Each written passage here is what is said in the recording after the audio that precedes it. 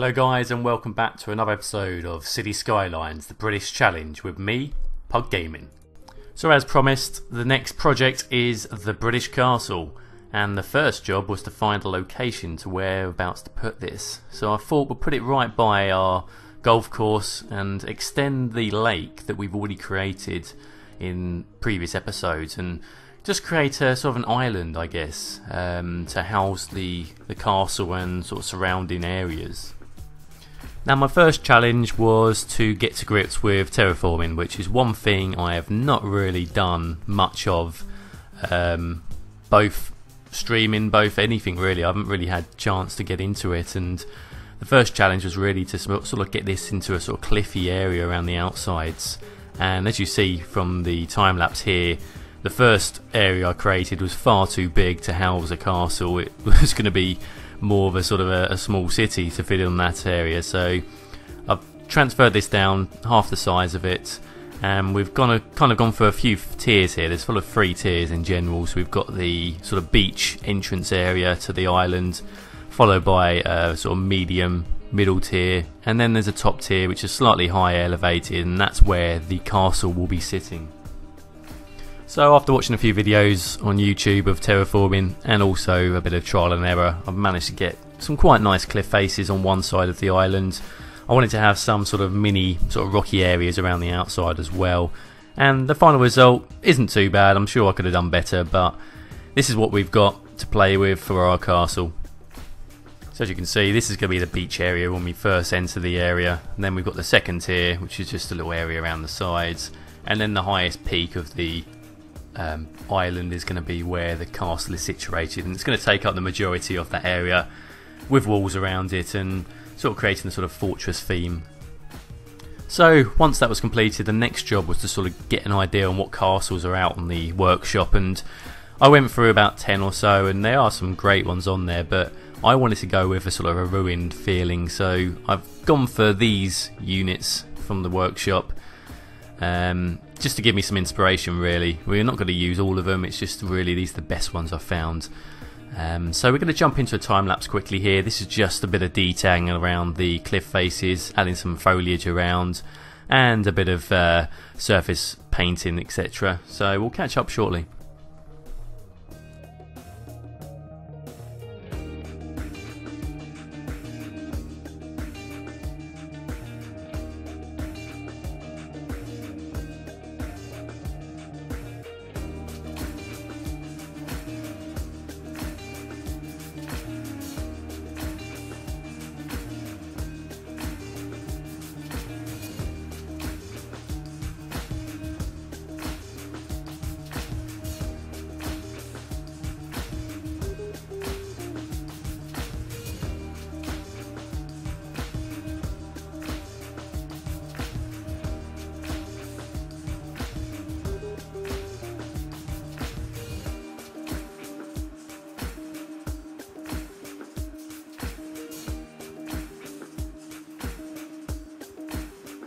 Now, I want to jump into a quick live play here because there's a few things that have been going through my head recently with the addition to the amazing new mod on the workshop Move It by SamSam.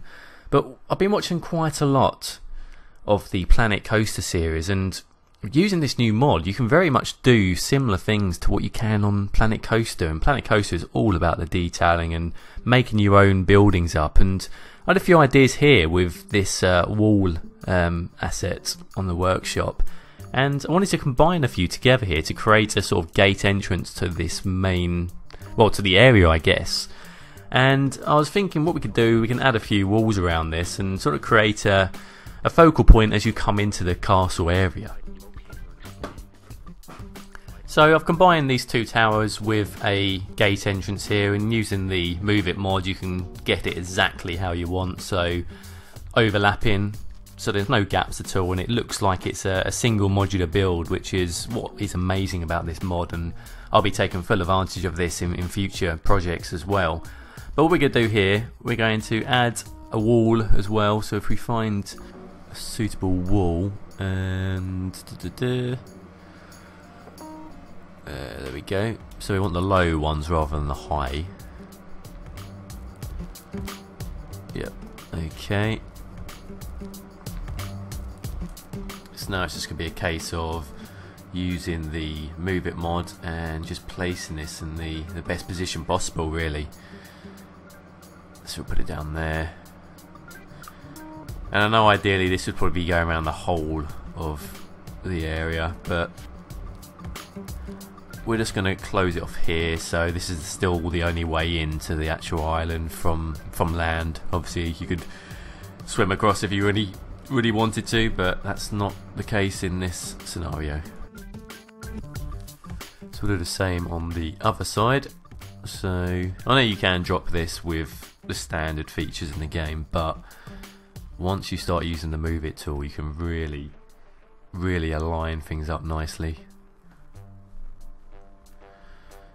Okay, and you can also see what sort of uh, results you can get from how you place it, because obviously you can overlap and do anything you want really here. So they look pretty good. So we're going to go for some straight walls down both sides. Let's find those. So we want the, the smaller ones here. Not that small, no. There we go, that's the one. So just make sure that we've got... That's going to be too long I think, isn't it?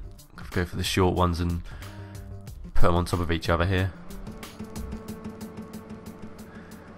So yeah, obviously you've got to rotate that around so it fits.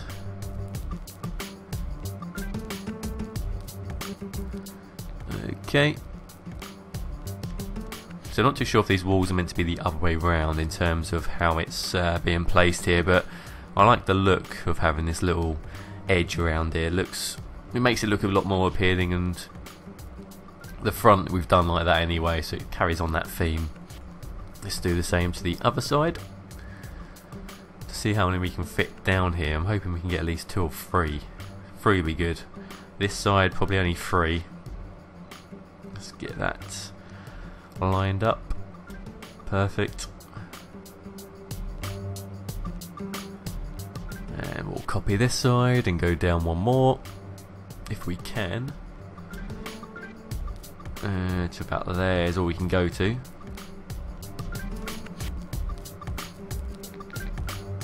swing that around. That's a good thing about this move it tool. Even though you could see it first, I couldn't place it in this area. Now I've got the move it tool um, on, I can move it around and pretty much place it anywhere. I know sometimes if you place things a little bit too far away from where it should be able to be placed, it does bring the land up as you saw just then, but that's not such an issue really here. That works okay for me. I'd rather have it looking more realistic and the land going up a little bit than um, gaping big holes around the side where you could literally just walk around and not have to go through the front entrance. Okay, we're going to jump into another Let's Play in this area here and I found a good way here to basically cover up the doors. So it looks like it was once a door but it's been bricked up. So all you need to do is get one of the um, placements here of the wall and pretty much just place it over the door. And so long as you get the distance right with the move it tool you can just about get it so the arch is visible. And then you get that sort of look that you tend to see in these sort of areas where it's open to the public where there was once a door here but we bricked it up because there's no need for it now. So we'll do the same again on the other side. And we've also overlapped a little bit here as well so we can uh, get a better feeling of the uh, bridge. But here we go. So you can see, you can see the bridge, sorry the bridge, the bricks just coming out now when you get to that level. If we twist this a little bit as well, bring that back forward. There we go. So we just want it so it's just visible so you can just about make out that it was once a door there but it's been bricked up So that's pretty much that. We're just going to do a bit of detailing around this area and the castle, so we'll jump into a time lapse for that and we'll catch up again shortly.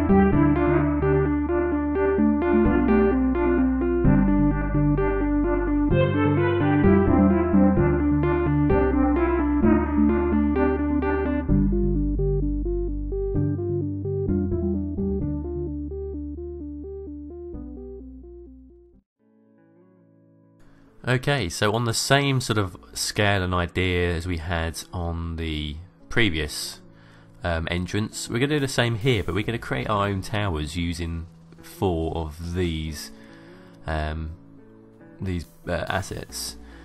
And again, very much like what we did earlier, we are just adding them all around. I know to have to make sure these are straight shortly by using the move it tool, but you get the idea of what we're doing here. We're, we're just creating our own tower.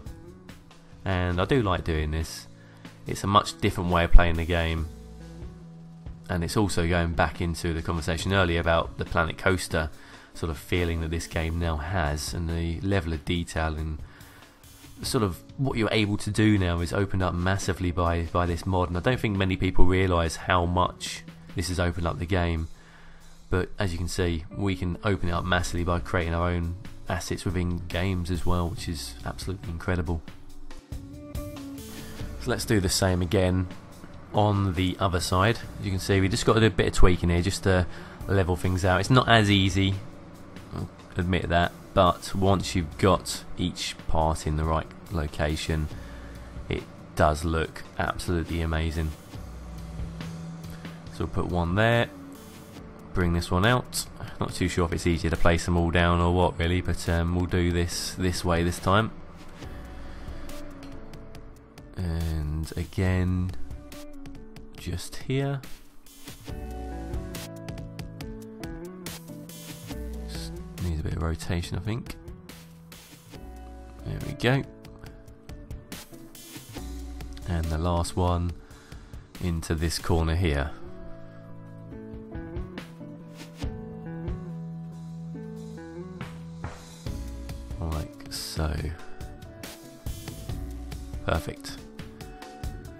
As you can see look at that. The only thing that we need to sort out here is the land itself. As you can see these aren't quite looking right. But first let's put in another bridge just to just to make things a little bit more um, connected up here. Ideally we'd like one across the middle as well to create a proper walkway bridge, but we haven't got anything we can use. And I think if we put more of these over, it's going to look a bit silly with the um, plates on the top there. But as you can see, it looks like it's come from the workshop, but we built this all ourselves by hand. And all that's left to do now is a tiny bit of terraforming just to get this land back to level and we should look to see a much squarer shape. So if we just bring this down, as you can see, as soon as we do that, everything levels up. And that looks absolutely amazing in my opinion. A great way to make your own modular designs within the game.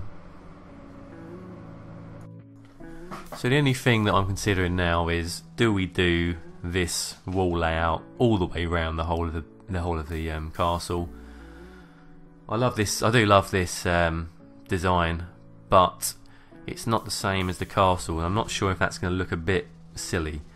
Um, so I'm going to need your feedback here, guys. Like I say, this is going to be part one of a two-part project for the um, castle. Um, what I've done here is I've gone round some of the area with um, these walls, but like I say, I'm not sure whether it's going to look right if we go all the way around the whole building. A few people have commented um, also that obviously the castle walls are all deteriorated and ruined, but this is perfectly built, so the contrast between the two might not suit, but let me know your thoughts guys, and here's a quick overview of what we've done today. So another thing I'd like to hear your feedback on guys is I'm thinking of maybe putting some other sort of buildings around the outside of the castle walls uh, maybe on the first tier down the bottom we'll actually will have some proper houses or something like that. Or do we leave it all alone and just have this as a sort of focal point for people to come and visit? Let me know your thoughts and I'll catch you in my next video. All the best.